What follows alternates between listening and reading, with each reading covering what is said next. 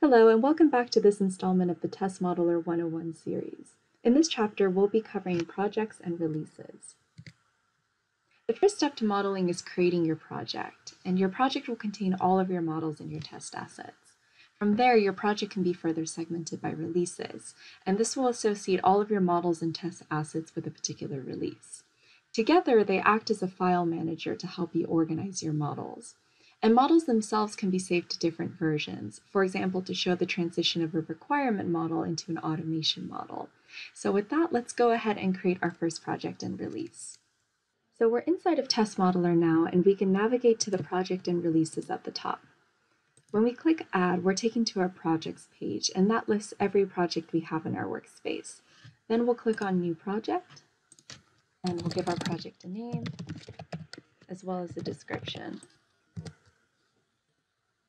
Then we'll be asked to choose a configuration, and you'll see several of our quick start templates here that help you rapidly create automation for web testing, mobile, API, mainframe, and more. The next module of this series will take a look at each of these examples in more detail. So let's choose web automation for this project. And we have a series of tutorials designed to help you begin modeling and create automation in a couple of steps. So we highly recommend checking these out. And we'll click Save. And we're now in the context of our new project. So that means that all of the assets we see underneath our Explorer would be for this project only. And now let's create a new release. So we'll click into our example project and then select new release. And we'll give this a name and click save. And we can see that the new release has been added. And under actions, we can choose which release context we want to view. And when you're in a particular context, all of your models and assets will be saved to that release only.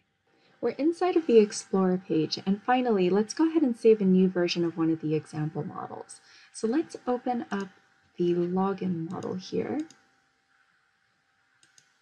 And let's say that the valid email for this login account changed. So we'll go inside of our test data variables tab, and we'll enter in a new email here.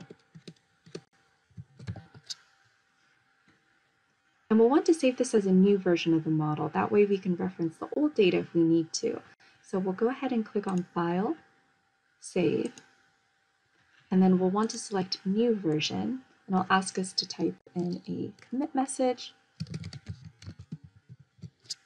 and then we can click Save.